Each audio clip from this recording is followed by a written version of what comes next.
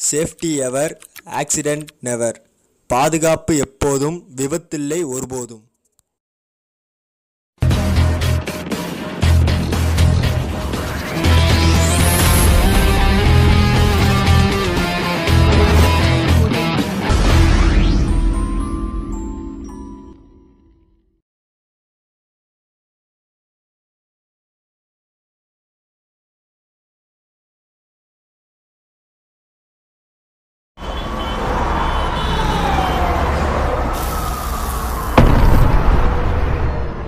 மீறாதே. மீறினால்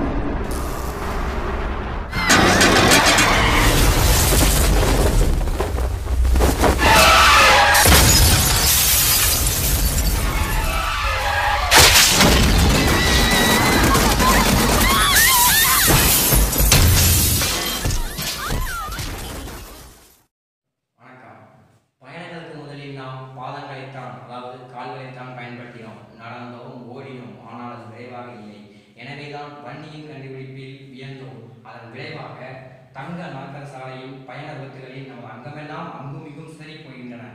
ஏன்? ஏன்? விதி மீறல்கள் கவனமின்மை அவசர கோலம் பாதுகாப்பின்மை அனைத்தும் தான் இந்த விபத்துகளுக்கெல்லாம் காரணம். தமிழகம் ஏற்றங்களுக்கு எப்பொழுதும் முன்னுதாரணம். ஆனால் இந்த தார்ச்சாலை விபத்துகளிலும் தமிழகம் தான் முதலிடம். வாழ்க்கைக்கு வழியாட்டியாக திகழும் நாம் நல்ல வழிகாட்டியாக இல்லையோ? இது நமக்கு அவலம் அல்லவா படி பார்த்தால் இரண்டாயிரத்தி பதினொன்றாம் ஆண்டில் தமிழ்நாட்டில் மட்டும் அறுபத்தொன்பதாயிரத்தி ஐம்பத்தொன்பது விபத்துகள் நடந்திருக்கின்றன.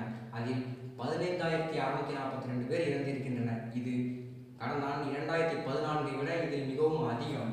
இதை வயது வாரியாக பிரித்து பார்த்தால் பதினெட்டு வயதுக்கு கீழ் உள்ளவர்கள் இருபத்தி ரெண்டு சதவீதம். பதினெட்டு வயது முதல் முப்பத்தி ஐந்து வயதுக்கு உட்பட்டவர்கள் நாற்பத்தி நான்கு சதவீதம். முப்பத்தி ஐந்து வயது முதல் அறுபது வயது உட்பட்டவர்கள் இருபத்தி ஏழு சதவீதம் அறுபது வயதுக்கு மேலுள்ளவர்கள் ஏழு சதவீதம் இந்த விபத்தை சாலை வரியாக பிரித்து பார்த்தால் புறவழி சாலையில் மட்டும் நாற்பத்தி நான்கு சதவீத விபத்துக்கள் நடைபெறுகின்றன. நெடுஞ்சாலையில் பன்னெண்டு சதவீத விபத்துகளும் மாநில நெடுஞ்சாலையில் எட்டு சதவீத விபத்துகளும் நடந்திருக்கின்றன. சாலை விபத்து என்பது விபத்தல்ல அது இந்தியா முழுவதும் பரவியிருக்கின்ற ஒரு வியாதி. இந்த சமூகம் மாறிடும் மாறிடும் சொன்னால் மாறாது. நம்ம மாறினா தான் அந்த சமூகமும் மாறும். மாற்றம் வளரட்டும் பாரதம் வளரட்டும். நன்றி.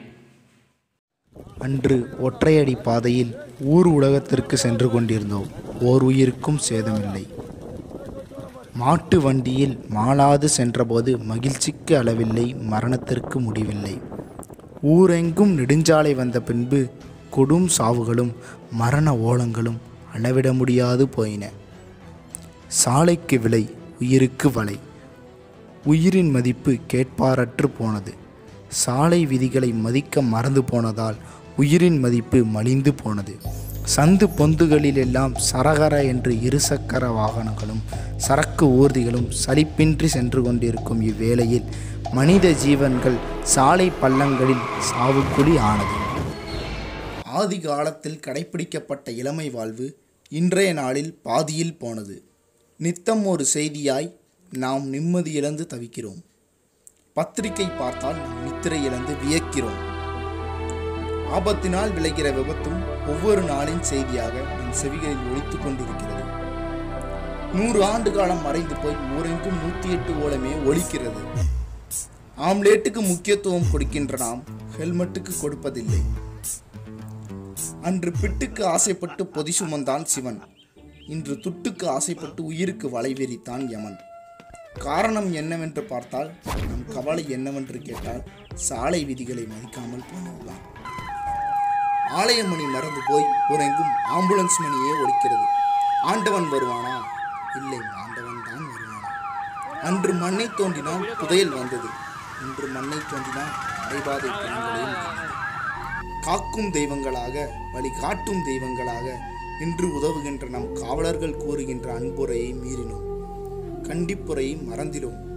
அதனால் வழி தருமாறி கலங்கினோம் விதிவகுத்த பாதையில் சென்றிடும் மனிதர்களே நம் மதிவகுத்த பாதையை கண்டு நம்மால் விதியையும் மதியால் வென்று பாதியில் சென்றிடும் மாயிலை பொக்கிஷமாய் பாதுகாத்திரலாம் நில் கவனி செல் என்பதை சாலையை கடக்கின்ற நாய்கள் கூட கடைபிடிக்கின்றன ஆறறிவு படித்த நாம் கடைபிடிக்கின்றோமா போனால் போகட்டும் போடா. என்பதற்கு பொன்னா பொருளா நம் உயிர் அது ஆயிரங்காலத்து பயிர்.